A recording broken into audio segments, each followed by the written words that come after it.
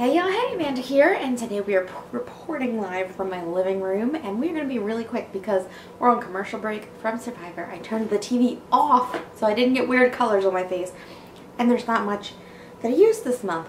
So let's talk about empties. I finished up the Avalon Organics Nourishing Lavender Bath and Shower Gel.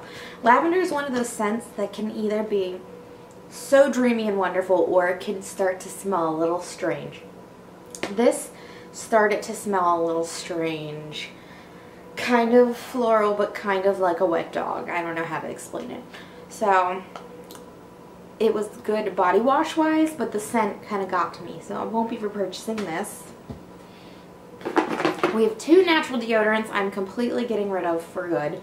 We have the Alba Botanica Clear Deodorant in Lavender. Now this one actually smells nice, but this does nothing for me. I smell disgusting quickly. I'm a sweaty, stinky girl, in case we haven't established that. Then we have the Jason, Jason, the Jason's Nourishing Apricot Pure Natural Deodorant Stick. Also does absolutely nothing for me. Just stink right through this. So, getting rid of both of those. A couple face masks the Ellen Tracy Night Repair Revitalizing Face Mask.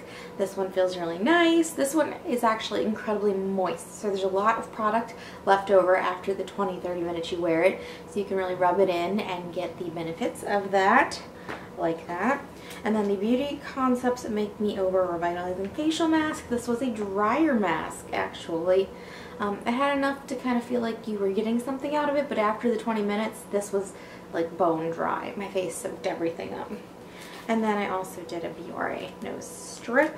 I'm working my way through all of my cheap masks, nose strips, everything like that.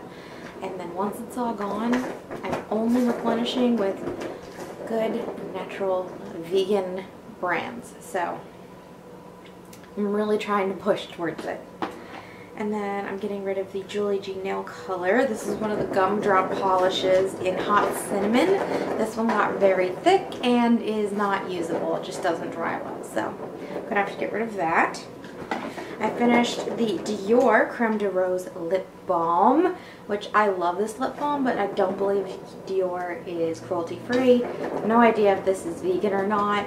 it took me so long to get through this. Like, these really last you on. I cleaned it out. The smell is just the perfect rose scent.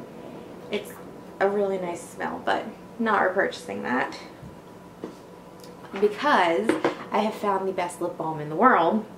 The Soothing Touch Vanilla Chai Lip Balm made with organic cacao and shea butters or cocoa whatever.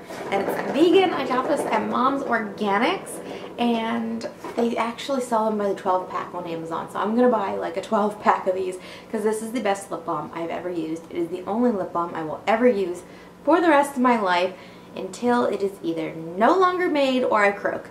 So love this. I cannot recommend it highly enough.